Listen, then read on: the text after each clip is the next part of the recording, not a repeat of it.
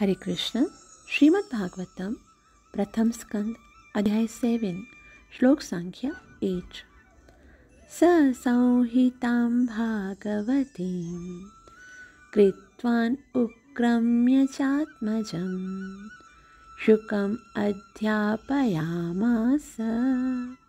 निवृत्ति निरतं मुनिः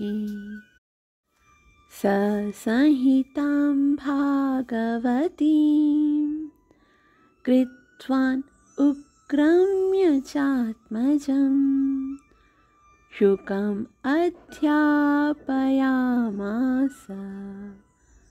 निवृत्ति निरतं मुनिः। अनुवाद। श्रीमद् भागवत का संग्रह कर लेने तथा उसे संशोधित करने के बाद महर्षि व्यास देव ने उसे अपने पुत्र श्री सुखदेव गोस्वामी को पढ़ाया, जो आत्म साक्षात्कार में पहले से निरत थे।